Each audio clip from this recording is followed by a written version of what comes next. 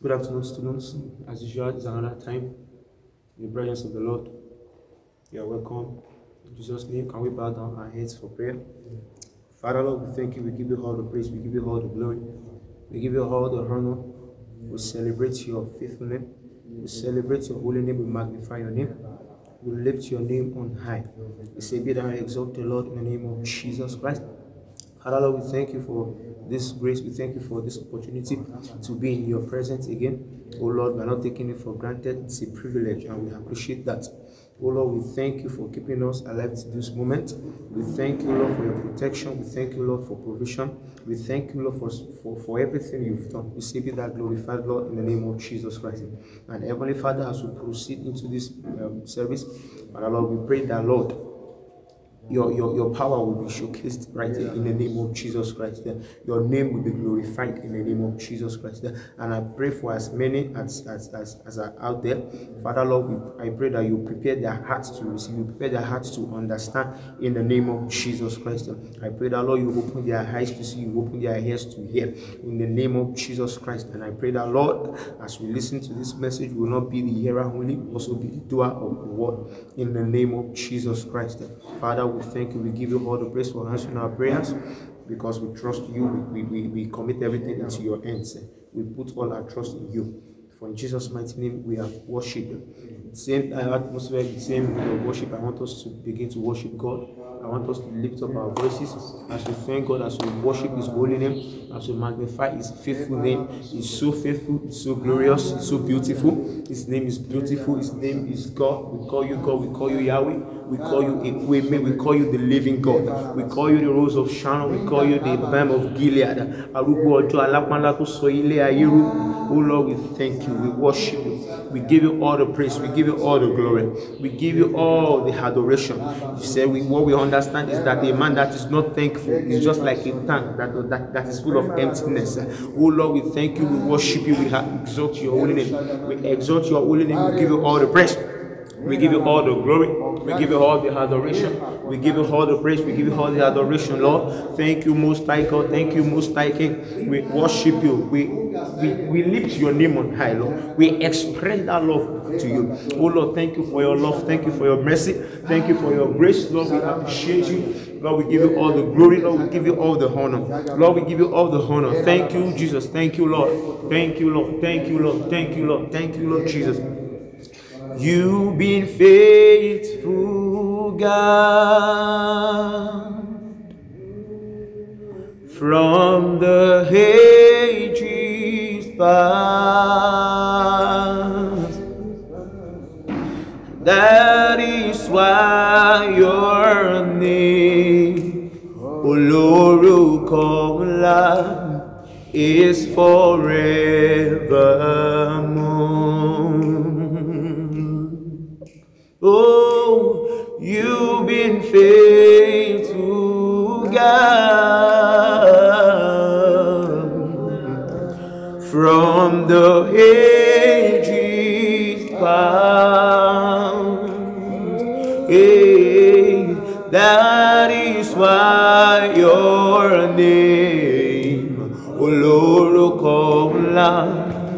is for forever. Can you lift your voice and say, You've been faithful, God. You've been faithful.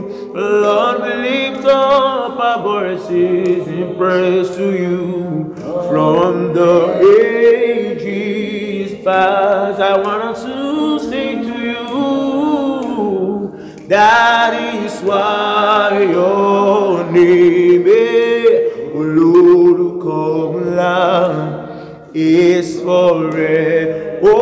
Oh, more say you've been faithful, God. You've been faithful, God. Lord, we acknowledge you, God, from the ages. Oh, that is why, that is why your name, that is why your name, oh ńlá dé is forevermore. Hey, Ọlọ́run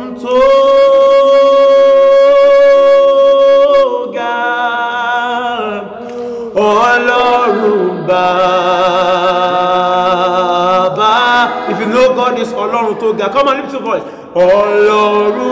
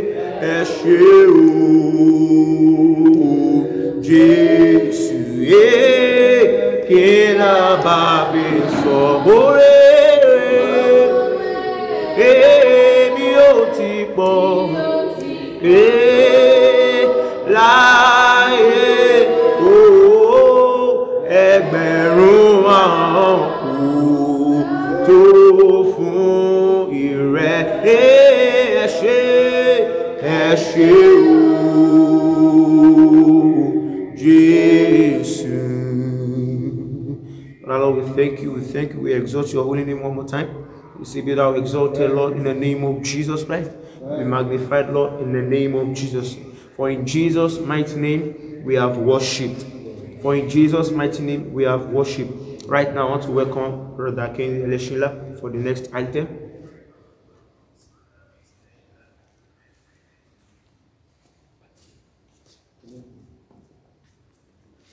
Good afternoon. Praise the Lord Jesus. Um, it's time for Bible reading, and I'll be taking this Bible reading from the book of Matthew, chapter 11, verse 27 to the end. I read All things have been delivered to me by my Father, and no one knows the Son except the Father nor does anyone know the Father except the Son, and the one to whom the Son wills to reveal him. Come to me, all come to me, all you who labor and are heavy laden, and I will give you rest. Verse 29 Take my yoke upon you and learn from me, for I am gentle and lowly in heart, and you will find rest for your souls. For my yoke is easy and my burden is light. God bless the reading of the word. Um, as I close, I will invite our chaplain of Precious Cornerstone University, the Pastor Shola Ajibulu, to come on the podium. Thank you.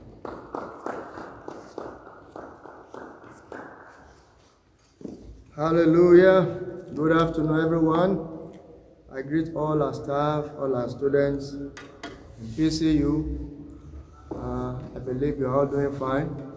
The Lord has preserved our lives and we are alive to tell the story. I pray that none of us shall be a victim of COVID 19 in the mighty name of Jesus. We have another opportunity today, May the 10th, to have a brief time together uh, through this medium to reach us to send the word of God. Uh, it's been good since we started, and I believe you've been picking one or two things.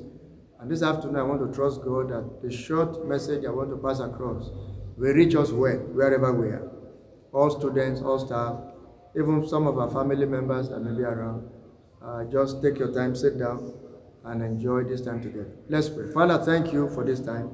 I pray that you will put your word in my mouth and let it be a blessing this afternoon to your people. Lord, help us to continue to grow as we seek you day by day in the midst of all the challenges of life. Make us to be victorious through your word. Thank you, Heavenly Father. I yield my lips of clay to you. Bless your people and let your name be glorified. In Jesus' mighty name we are praying. Amen. Now, today I just want to share with us what I have called uh, three things God wants us to be.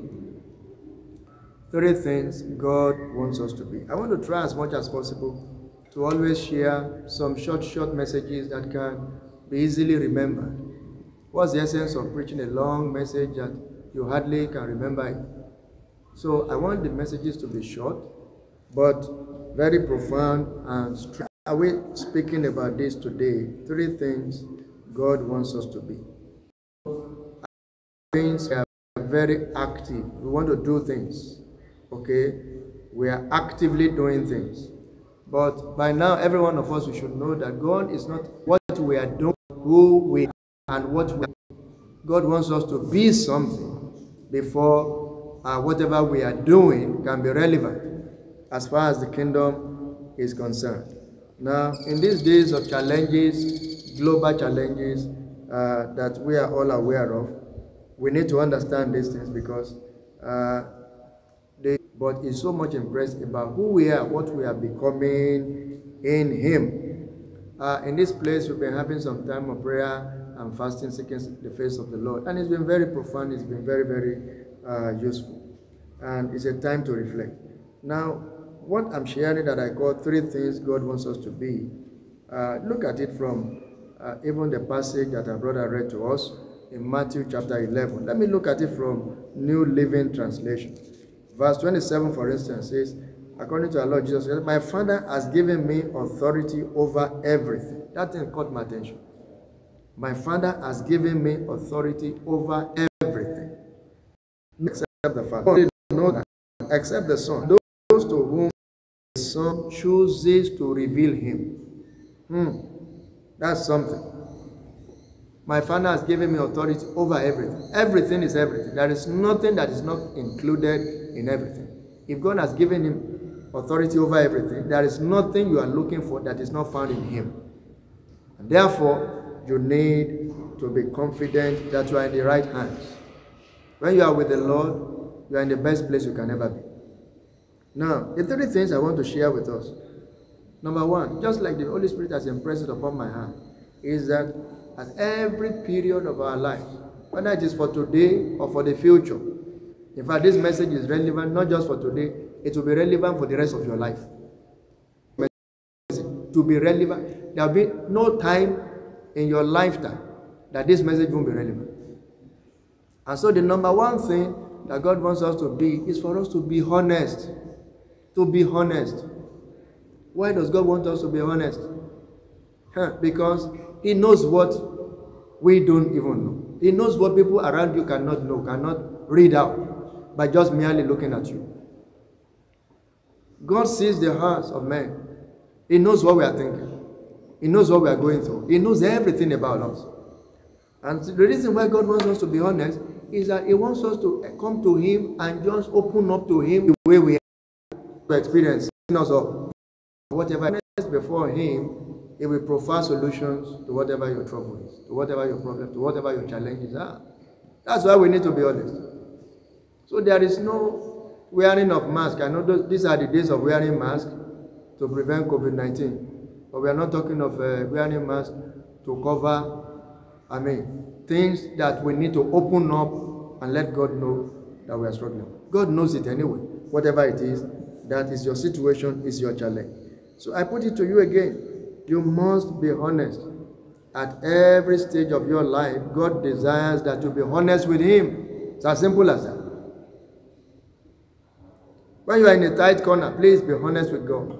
Sometimes people ask you, How are you? You just give them the normal answer in a cliche form. Fine. Good. Whereas you are struggling with stuff on the inside. God wants you to be honest, to be sincere about whatever it is you are going through. Listen, let me give an illustration which our daddy here gave us some time. That when you have a wall clock, I'm sure some of us must have experienced it. A wall clock, maybe in your sitting room somewhere, and you discover that the battery has gone down and then the clock is running late, so to speak. When you look at that, what do you do? You pick it up, you remove the, I mean, alien battery, and then you get a new one and put it there. And then you reset. You reset the time, and then the thing begins to click again. Bam, bam, bam, like that. My friend, sometimes you need to sit down and do self-examination and reset your life and trust God to help you reset your life. These are the days where globally people are resetting stuff. Families can't be the same again. Companies can't be the same again. Even churches can't be the same again with this corona pandemic stuff. A lot of resetting is going on. And individually, we need to reset our lives. And we must be honest to do that. Maybe because you have left the campus for some time and you see nobody is there to watch you again, you have entered into some things, you have put your hands into some things, or even at home, you discover that you are no longer vibrant. I mean, things are not the way they used to be. My friend, take time apart to seek the face of God and let Him reset your life. Reset your life. You have to be downright honest with Him for that to happen. So, the number one thing God wants us to be is to be honest. Not just for one day, not just for one month, not just for one year, but all the days of our life. Even when we miss it and we are struggling, or we even fall into sin, be honest, come back to Him, and let Him reset your life. Number two, God wants us to be holy. That is the hallmark of the Christian faith. He wants us to be holy. All right? And one thing that becoming holy will deliver to us is like a double barreled blessing. It's a double barreled blessing divine presence and divine power. When you walk in holiness, you experience divine presence and the divine power of the Almighty God. God does not want us to be without power. It takes power to rule in life, it takes power to reign in life, it takes power to overcome sin, it takes power to overcome all the challenges of life and be on top. And that's why God said in First Peter chapter uh, uh, 1 verse 16, He said, Be ye holy, for I am holy. When you are walking with God in holiness, you discover that your life is bringing out the fruits that helps you to overcome the challenges of life. Your life is beautiful. You have the strength, the inner strength to, to, to uh, withstand whatever pressures are coming from the outside. God wants us to be holy. Don't forget that. He's not going to change his mind about that. Okay? He's not going to change his mind. Holiness is everything. That is the essential nature of God. And God wants us to partake of that nature so that we can be like Him. We can be like His Son, Jesus Christ our Lord. So, because He knows that when we are walking in holiness, it will deliver, I mean, the presence of God. We will enjoy His presence, and then His power also will manifest in our lives. The third thing God wants us to be, because you see, after we are walking in holiness and the glory is breaking forth and we are achieving things and we're on top there, sometimes we forget who we are. We forget that we are nothing outside of Him. So the third one He wants us to be is to be humble. To be humble.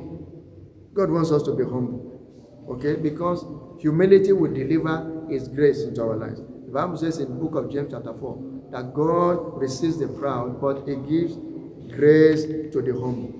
And as you humble yourself, you move from one level of glory to another. You move from strength to strength because the ability of God, the grace of God is delivered to you, and you can accomplish seemingly impossible things because God is working with you. We need to be humble. Now, let me counsel here staff and students.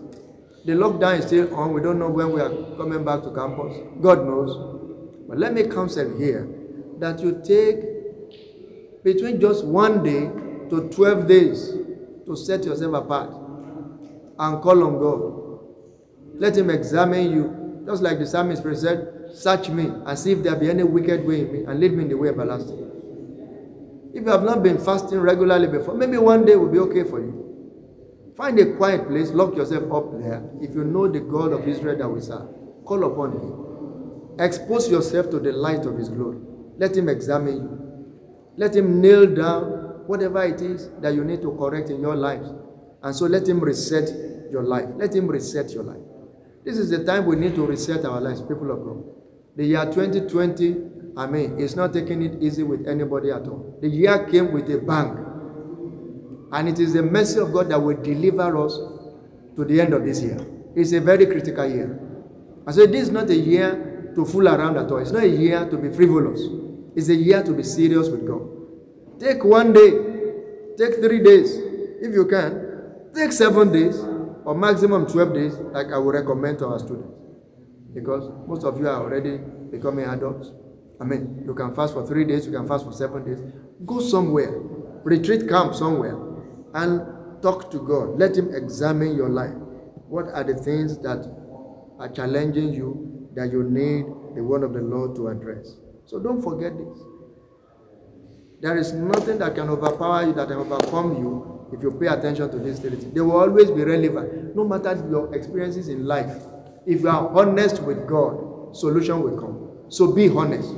That's number one point. Number two is that God wants us to be holy.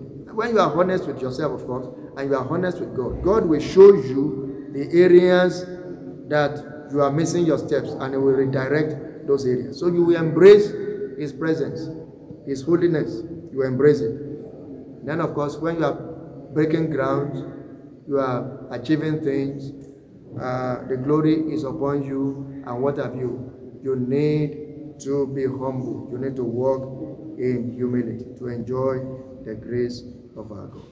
So, if you are honest with God, He will reset your life. If you dare to walk in holiness, His presence will be revealed in your life and His power will flow.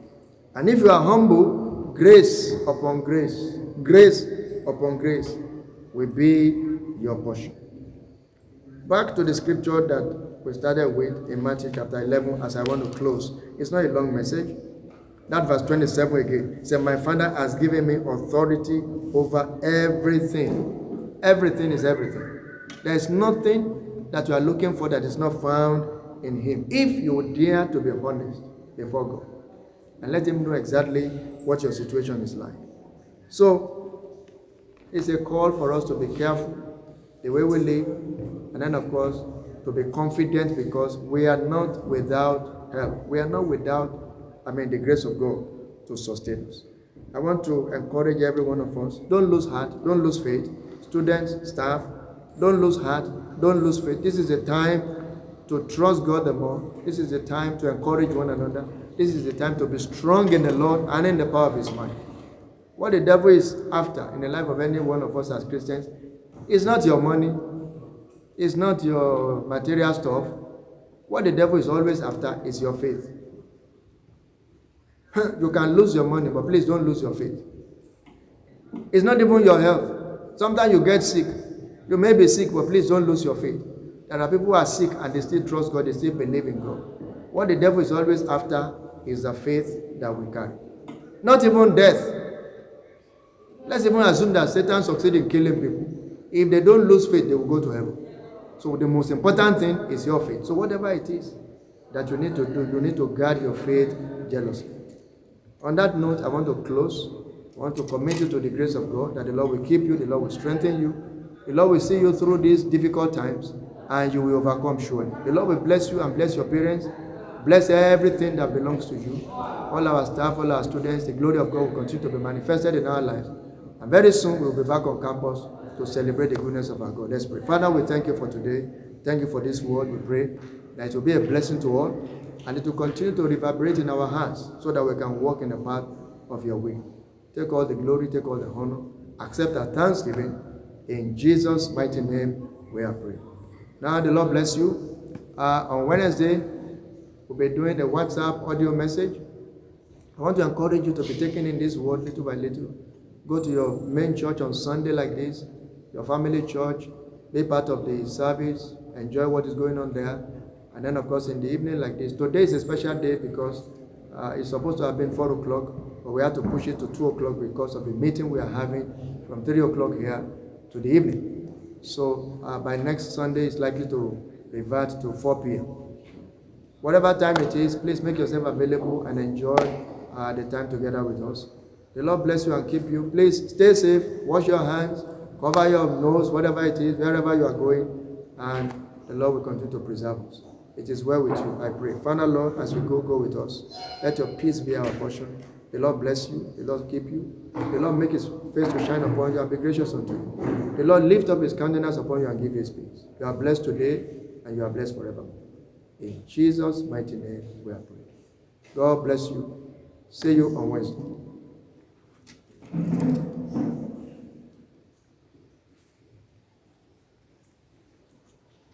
Thank you, Sam. Twenty